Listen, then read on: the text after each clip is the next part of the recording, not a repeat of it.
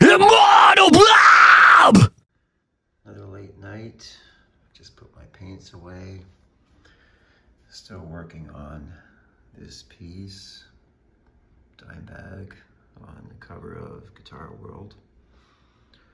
Um, just added some more brush strokes, outlines of, you know, just his guitar, um, his shirt logos,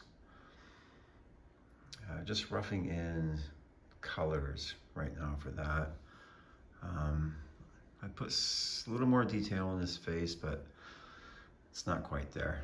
Um, still kind of roughed in as well, but um, it's getting there. Uh, it's interesting because any painting that I do, it's, I don't know, it's always a different approach. Um, I think I spend more time walking by the painting and how I want to capture the moment and vibe and feeling and figure out how do I do that in layers and you know grabbing the right colors and whatnot lot of it is trial and error make a lot of mistakes lots of mistakes along the way but um, um, anytime I show something, it's always like the final product. So you never see all the fuck ups. Um, but I don't know, to me, it's really just expressing how you feel. Hopefully, when someone sees what you've done,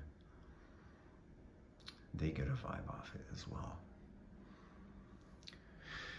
Anyway, I'm kind of emotional about this painting only because um, I was fortunate enough to tour with him for a summer uh, during Ozzfest, and he was a fucking outstanding human being, and what an incredible fucking guitar player, just one of a kind human.